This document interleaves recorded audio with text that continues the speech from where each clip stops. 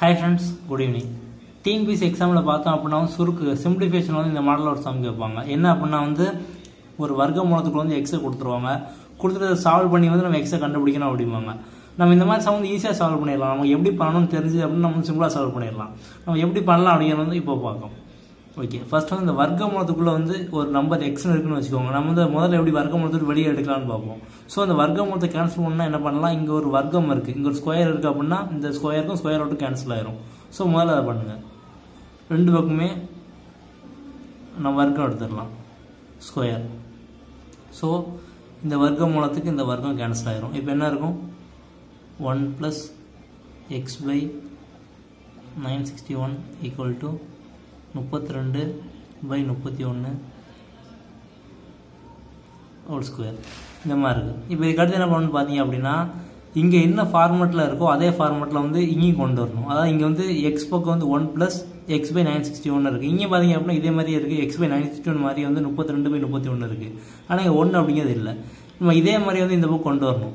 என்ன பண்ணணும்னு பார்த்தீங்க அப்படின்னா வந்து ஒன்றுன்னு போட்டுக்கோங்க. ஒன்றுன்னு போட்டுட்டு அதுக்கப்புறம் ப்ளஸ் போட்டுட்டு இங்கே முப்பத்தி ரெண்டு மைனஸ் முப்பத்தி ஒன்று மேலே இருக்கிற வந்து கீழே இருக்கிற நம்பர் நம்ம வந்து நம்ம மைனஸ் கழிச்சோம் அப்படின்னா ஒன்று வரும். முப்பத்தி ரெண்டு மைனஸ் முப்பத்தி ஒன்று ஒன்று பை கீழே என்ன முப்பத்தி ஒன்று அதை அப்படியே போட்டுருங்க.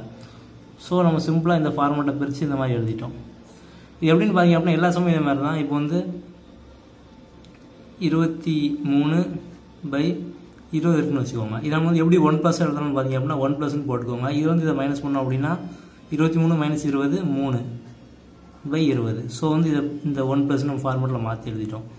இன்னொன்று வந்து நாற்பத்தி அஞ்சு கீழே வந்து ஒரு நாற்பது வச்சுக்கிட்டோம். நம்ம வந்து இப்போ இதை பிரித்து எழுதணும் அதே மாதிரி தான் ஒன் ப்ளஸ்ன்னு போட்டுக்கோங்க. போட்டுட்டு இப்போ நாற்பத்தஞ்சு மைனஸ் நாற்பது என்னது? அஞ்சு. அப்போ அஞ்சு கீழே கூட நாற்பது அப்படி எழுதிக்கோங்க. ஸோ இதை பிரித்து எழுதணும் அப்படின்னா இந்த மாதிரி எழுதணும். அப்போ வந்து நம்ம இன்னும் ஒன் ப்ளஸ்ன்னு பிரித்து எழுதுறது பெரிய விஷயமே கிடையாது. சிம்பிளாக பிரித்து எழுதிட்டோம். One plus X by nine sixty one இப்போ ரெண்டும் பார்த்தீங்க அப்படின்னா ஒரே மாதிரியான ஃபார்மெட்டில் வந்துட்டு.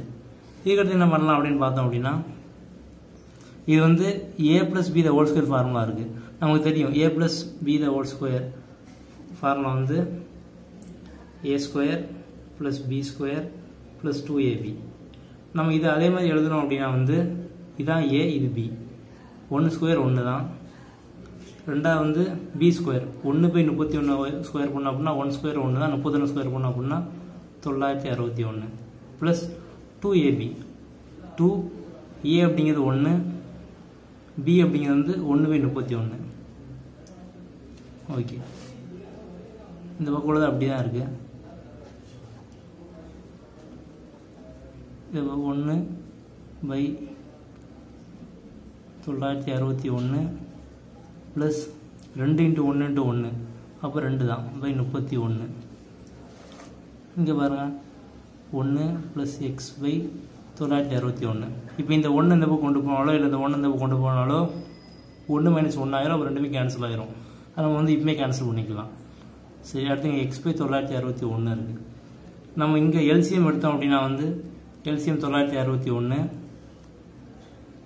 ஒன்று ப்ளஸ் இங்கே வந்து அறுபத்தி ரெண்டு அறுபத்தி ரெண்டு ஓகே அடுத்து நம்ம இதை எழுதணும் அப்படின்னா எக்ஸ் பை தொள்ளாயிரத்தி அறுபத்தி ஒன்று ஈக்குவல் டு அறுபத்தி மூணு பை தொள்ளாயிரத்தி அறுபத்தி ஒன்று தொள்ளாயிரத்தி அறுபத்தி ஒன்று தொள்ளாயிரத்தி ஒன்று கேன்சல் ஆயிரும்.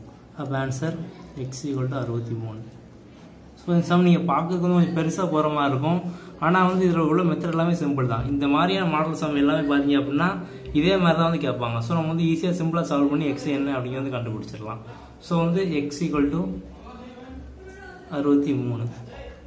ஸோ இந்த மாதிரி சம் கேட்டாங்க அப்படின்னா நம்ம வந்து ஈஸியாக மார்க் வாங்கிடலாம்.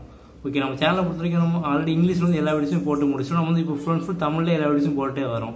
ஸோ என்னோட மொத்த வீடியோஸ்லாம் பார்க்கலாம் அப்படின்னா கண்டிப்பாக பாருங்கள் நம்ம இது போக ஹிஸ்ட்ரி ஜாகிரஃபி ஆட்டிடியூட் எல்லாமே ஃபுல் ஃபுல் தம் தமிழ்லேயே ஷார்ட்கட்லேயே போட்டே வரும். ஸோ நீங்கள் வந்து எந்த வீடியோ மிஸ் பண்ணால் பாருங்கள் இதுக்கு சேனல் சப்ஸ்கிரைப் பண்ணல அப்படின்னா கண்டிப்பாக சப்ஸ்கிரைப் பண்ணுங்கள் சப்ஸ்கிரைபருடைய பெல் பட்டனை மறக்காமல் ப்ரெஸ் பண்ணுங்கள் உங்கள் நோட்டிஃபிகேஷன்லாம் உடனே உடனே வரும். தேங்க்யூ